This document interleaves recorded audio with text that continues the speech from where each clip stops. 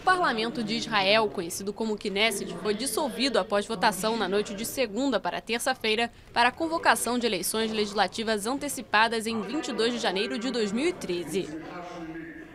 A dissolução foi aprovada por unanimidade e o primeiro-ministro de direita Benjamin Netanyahu aparece como o grande favorito diante do clima de tensão regional e da crise econômica mundial.